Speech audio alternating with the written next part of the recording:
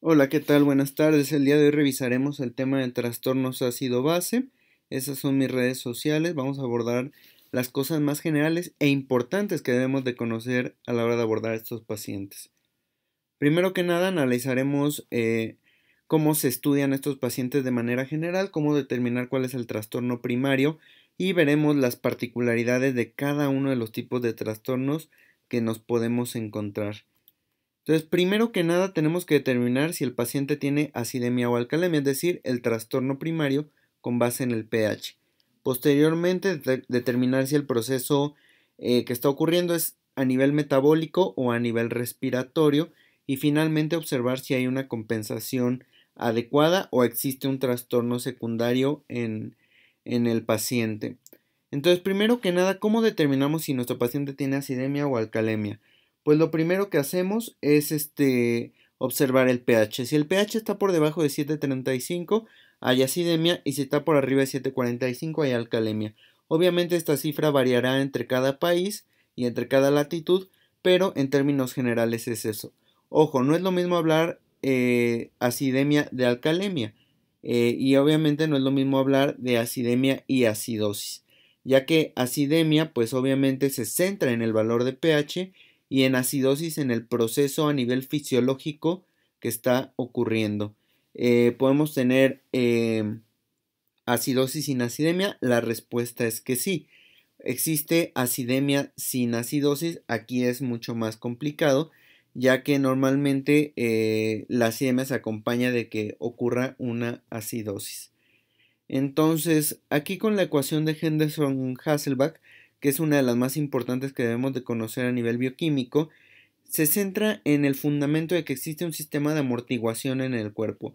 Un sistema de amortiguación que pueden existir muchos, pero este es el más importante, que se centra en la concentración de bicarbonato y en la concentración de ácido carbónico. Si existe una alteración a nivel del bicarbonato, entonces estamos hablando de que existe un proceso metabólico, ya sea una acidosis metabólica o una alcalosis metabólica. Por otro lado, si está afectada la concentración de ácido carbónico, que un extrapolable es la concentración de PCO2 eh, por 0.03, entonces estamos hablando de que existe un trastorno a nivel respiratorio, ya sea una acidosis respiratoria o una alcalosis respiratoria. Y con este fundamento, pues ahora sí podemos entender por qué existen cuatro trastornos primarios. Primero, si el pH está alterado, lo clasificamos como acidemia o alcalemia. Posteriormente nos centramos en la concentración de bicarbonato y en la PCO2. Si la concentración de bicarbonato está este, disminuida, entonces estamos ante un contexto de acidosis metabólica. Si está elevada en un contexto de alcalemia, entonces estamos hablando de una alcalosis metabólica. Si el paciente tiene una PCO2 elevada, estamos hablando de acidosis respiratoria. Y si está baja, estamos hablando de una alcalosis respiratoria.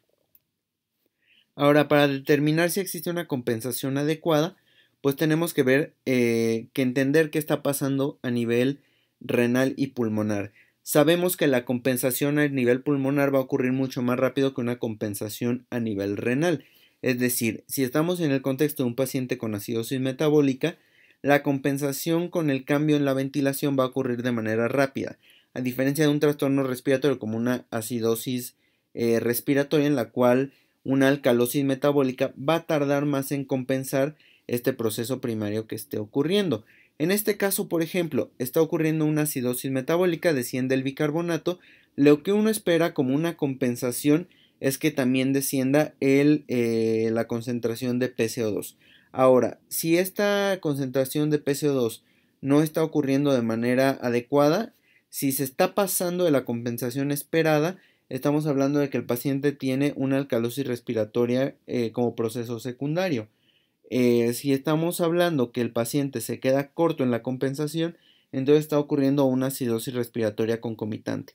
Ahora, ¿cómo sabemos que está compensando adecuadamente la, la PCO2? Pues tenemos que centrarnos en una de estas fórmulas, que es la fórmula de Winter en el caso de la, de la acidosis metabólica, la cual contempla una eh, multiplicación muy simple que es 1.5 por la concentración de bicarbonato más 8 y a eso le sumas o le restas más menos 2 como un rango de referencia para observar si está ocurriendo una compensación adecuada de PC2. Ahora, em, Existen muchas ecuaciones además de la de Winter. Esta es la que más se llega a utilizar por practicidad.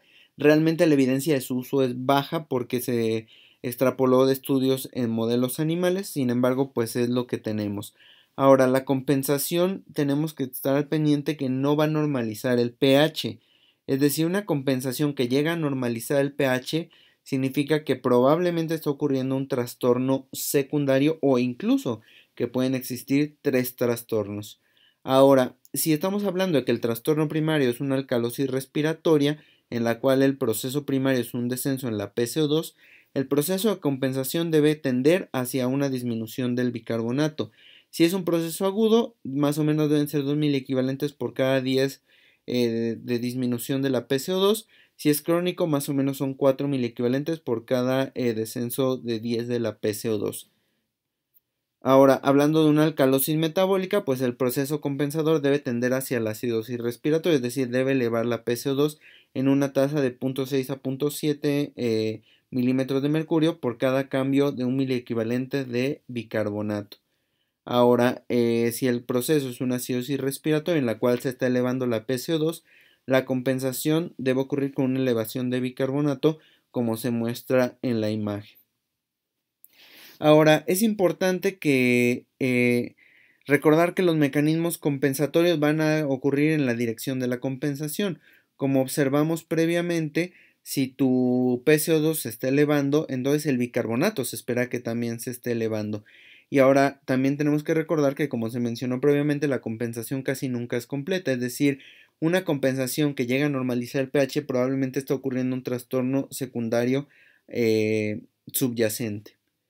Ahora, nada más hablando a grandes rasgos de la acidosis respiratoria, como quedamos es una elevación de la PCO2, en la cual este, se incrementa esta y disminuye el pH.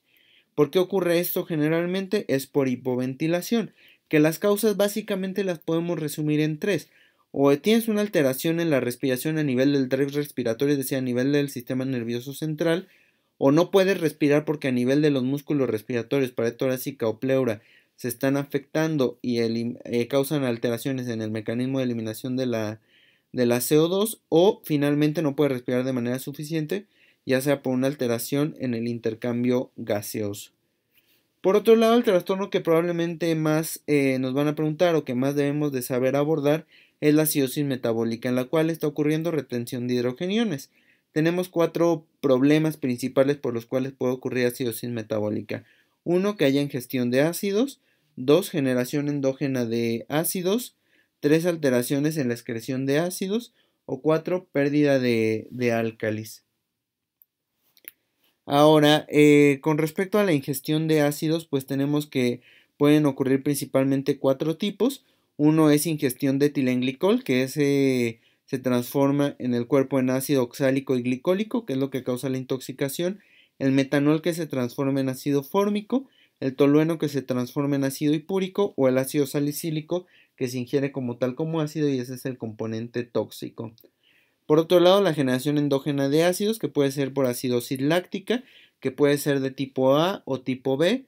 Probablemente eh, la más común que observemos sea eh, por una acidosis láctica tipo A, aunque algunos contextos como eh, el caso de un paciente cirrótico, el caso de un paciente con linfoma em, y otro tipo de escenarios que también pueden ocurrir con formación de ácido láctico y que no ocurren por la vía tradicional de formación de ácido láctico por la vía de, eh, glucólisis anaeróbica. Ahora, otro escenario es la cetoacidosis que puede ser diabética o por alcohol y finalmente la rabdomiólisis que muchas veces también culmina en la formación de ácido láctico.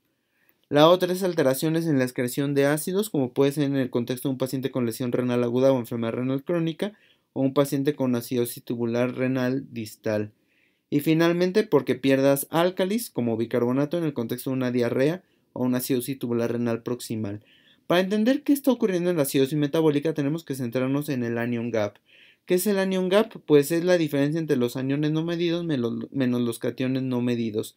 La fórmula de la, del anion gap sérico o brecha aniónica es la diferencia entre la concentración de sodio menos la suma del cloro más el bicarbonato con un rango normal. Algunos autores señalan 8 a 10, otros 8 a 12. Algunos señalan que 10 a 12 es un área muy incierta.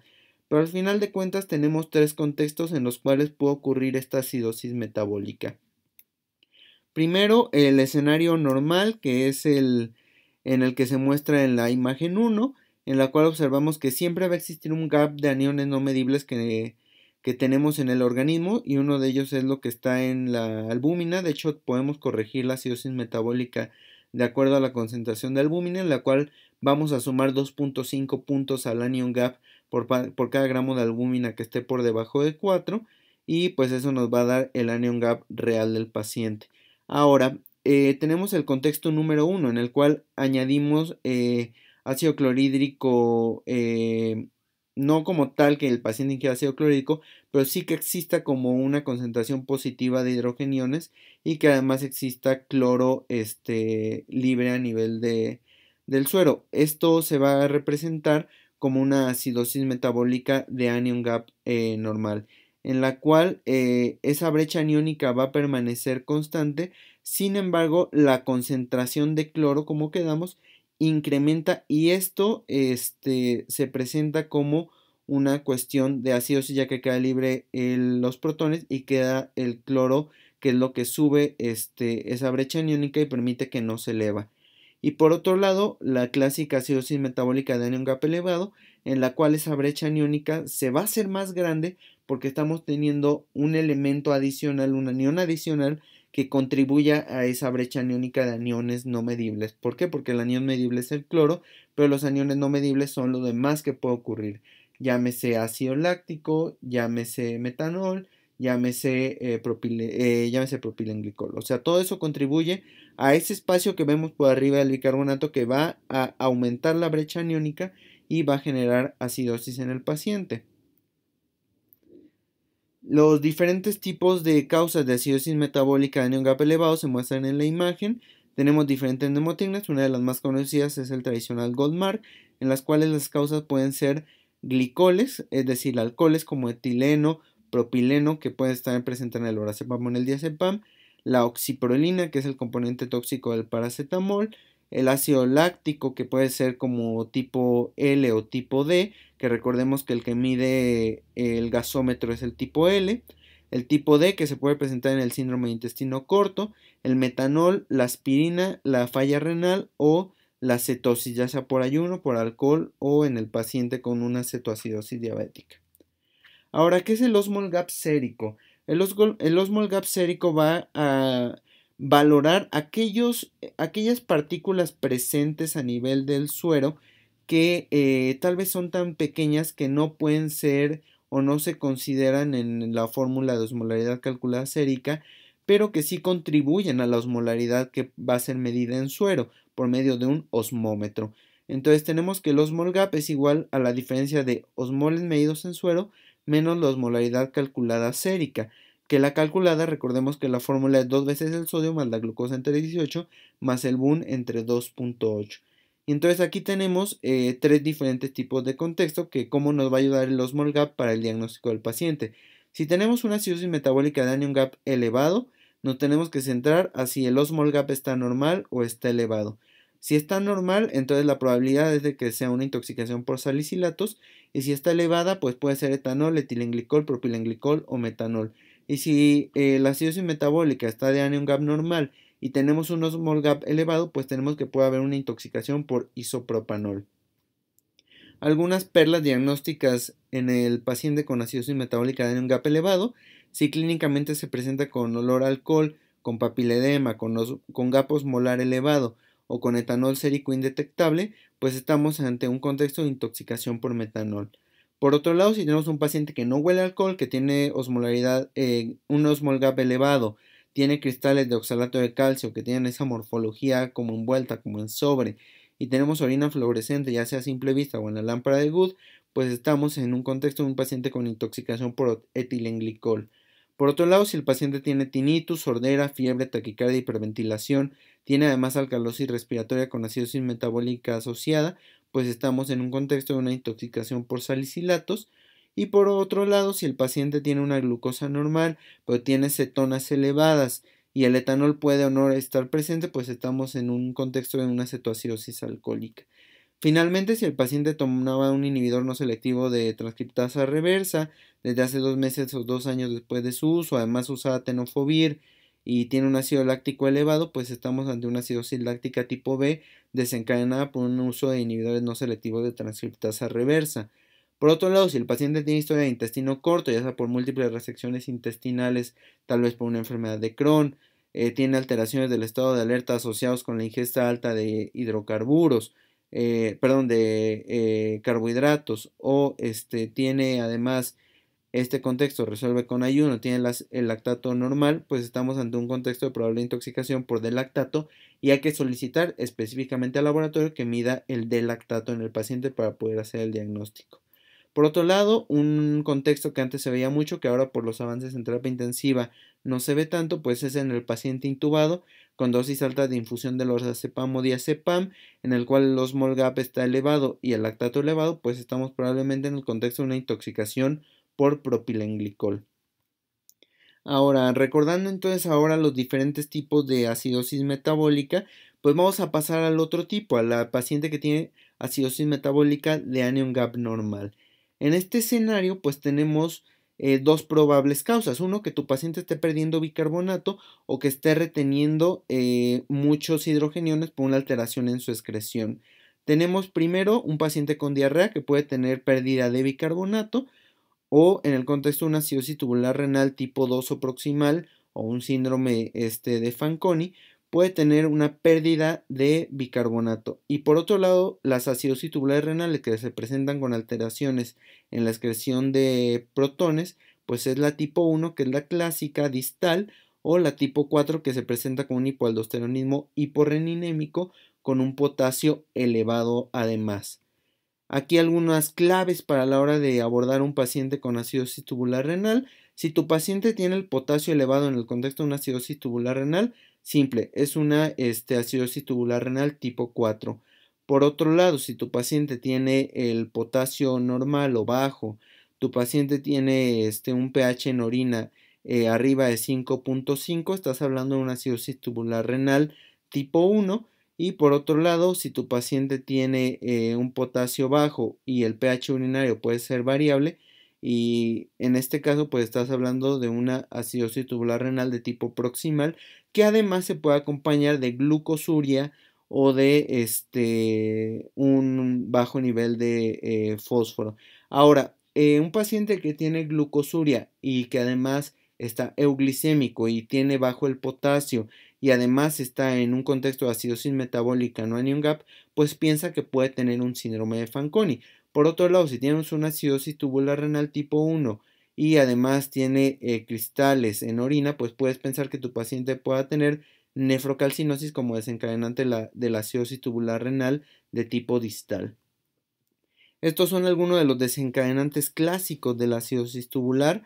Tenemos que la proximal puede ser desencadenada por ifosfamida, por tenofovir, por sidofovir o por mieloma. Eh, puede ser este distal que sea desencadenada por Sjogren, por lupus o por anfotericina o que puede ser este un hipoaldosteronismo hiporreninémico que puede ser en el paciente con enfermedad renal crónica que además tiene enfermedades de células falciformes, lupus, diabetes, uso de AINES y que en este caso pues vamos a observar una hipercalemia.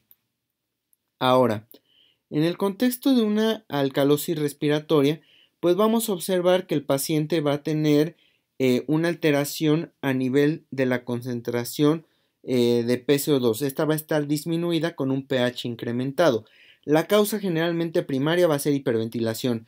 Causas que pueden generar hiperventilación son muchísimas, desde trastornos pulmonares como neumotórax, como TEP, como neumonía, como exacerbación de POC, que inicialmente se van a presentar como este, una alcalosis respiratoria y por otro lado causas cardiovasculares como un Zika, una falla cardíaca, metabólicas, endócrinas, trastornos de ansiedad también pueden generar una, un trastorno de hiperventilación o incluso causas fisiológicas como el embarazo que también pueden cursar con una alcalosis respiratoria. De hecho, si nos vamos a la bibliografía, algunos autores señalan y que es lo más visto en el contexto de urgencias, el paciente se va a presentar con una alcalosis respiratoria.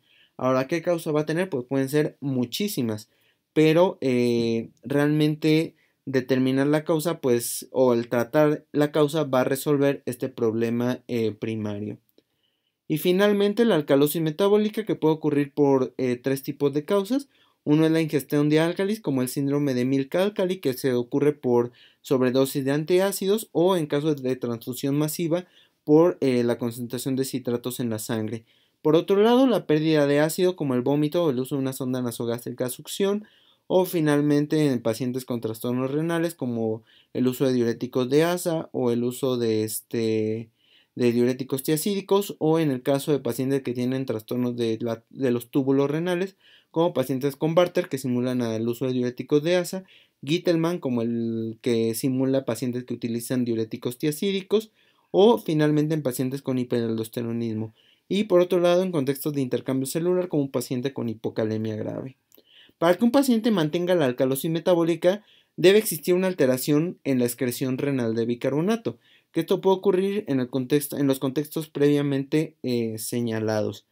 Ahora, esto eh, generalmente se asocia con trastornos a nivel del sodio y del potasio, ya que recordemos que el bicarbonato requiere una carga positiva que se esté eliminando a nivel de la nefrona para poder eliminarse de manera adecuada y que la aldosterona además puede exacerbar los mecanismos que llevan a la hipocalemia y a la alcalosis metabólica. Y recordemos, como eh, se revisó en el video de trastornos del potasio, eh, que la depresión de volumen va a estimular la aldosterona y con eso la reabsorción de sodio, pero no de cloro. Entonces el cloro urinario siempre va a ser un mejor indicador a la hora de abordar pacientes con alcalosis metabólica. Y de hecho en esta imagen, que también se revisó en el de trastornos del potasio, observamos que eh, primero tenemos que observar el estado de volemia del paciente. Si está reteniendo líquidos y además el cloro urinario está elevado, pues tenemos un contexto de un hiperaldosteronismo en el cual habrá que medir el PAC-PRA para determinar si hay un hiperaldosteronismo primario.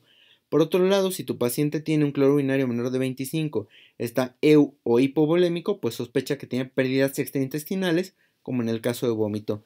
Por otro lado, si el estado de volemia está normal o bajo y además el cloro urinario está alto, pues puede pensar en el uso de diuréticos o en trastornos de los túbulos como en Barter o Gittelman.